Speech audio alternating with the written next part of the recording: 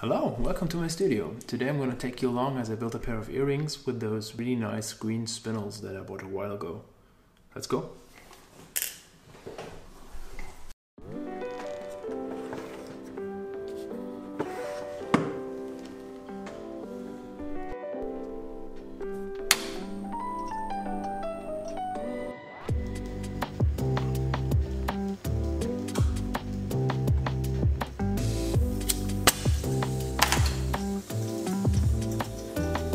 First step is like usual picking the material. I have a stubby bit of 18 karat yellow gold in my drawer so I have to roll it down first.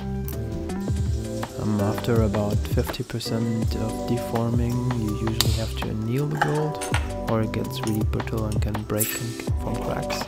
So that's what you see me doing here.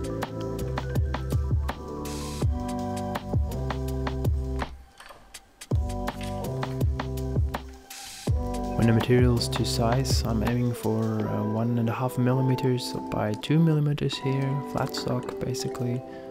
I have to bend it straight so I can uh, measure out my parts.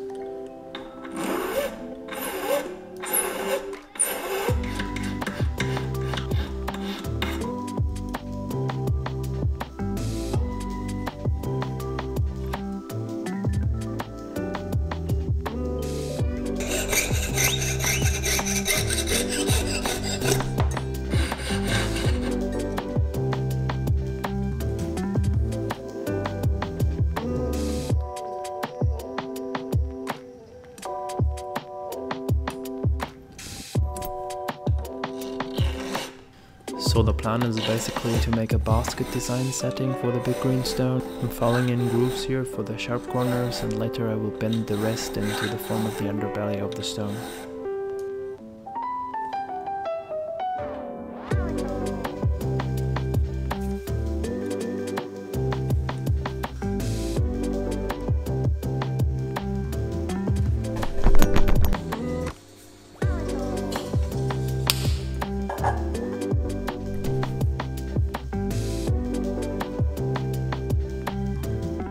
Basically be two long parts and two short parts that cross each other for two basket forms.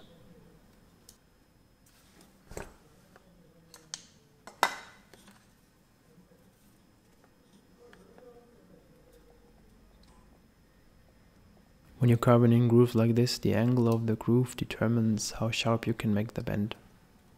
Because I already have roundness to the belly of the wire, I can't go with a no normal 90 degrees cut here, so I have to use a triangle file instead.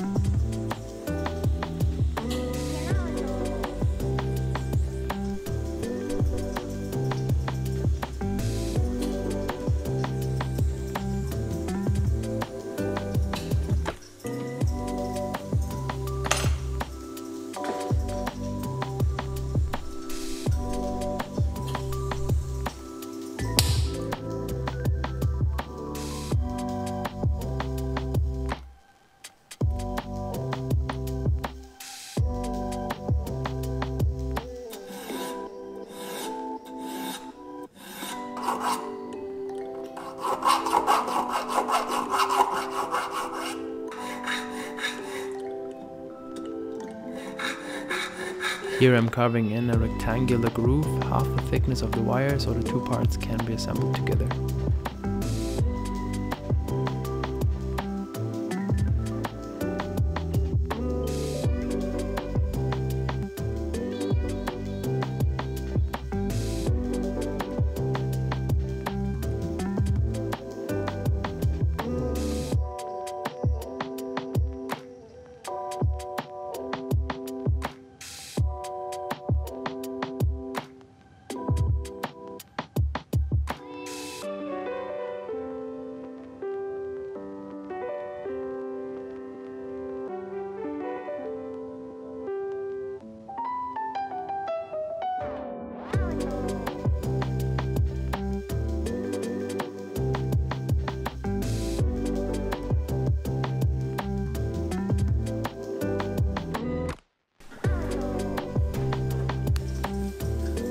For soldering I use Bracetech HS of Lux and 18 karat hard solder.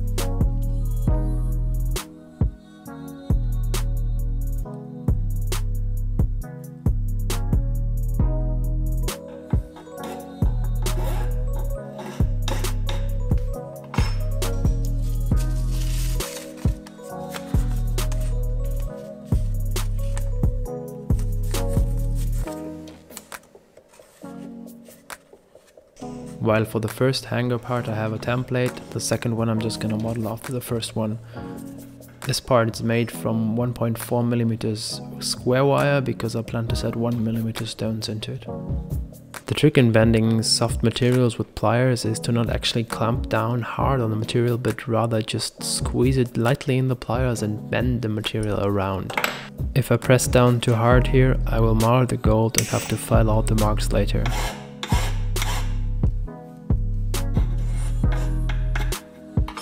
I never really use it a lot, but the red stuff is a molding clay that's called Fixotam that absorbs heat and stays in place, so it can be used as a fixture for, for complicated soldering operations, like this one.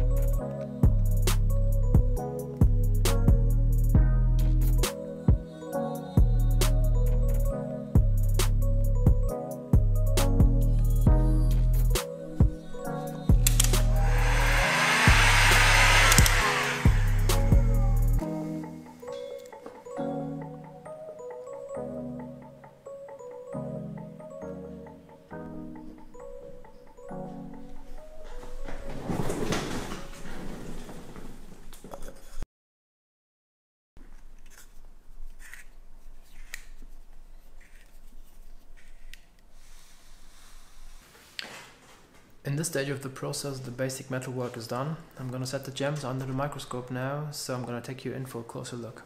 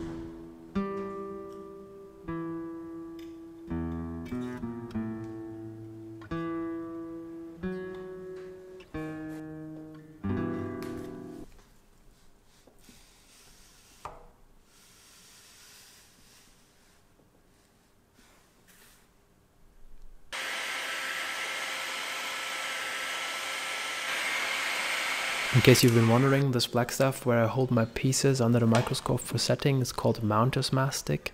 It's a bought product, but it uh, can also be shop made with relatively accessible ingredients. Its solvent is acetone, so that's what's inside the jar.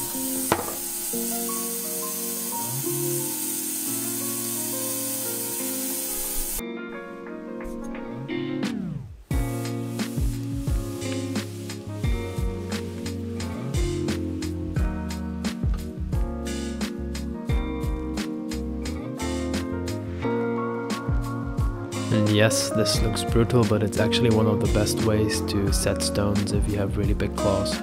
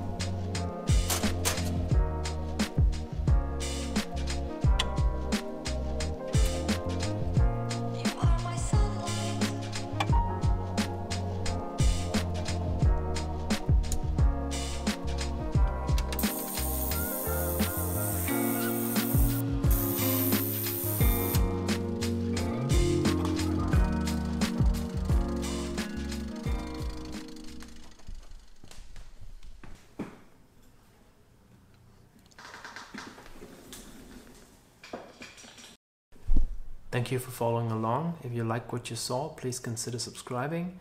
If you have any questions for me or thoughts, put them in the comments below. And now I want to show you some final product shots.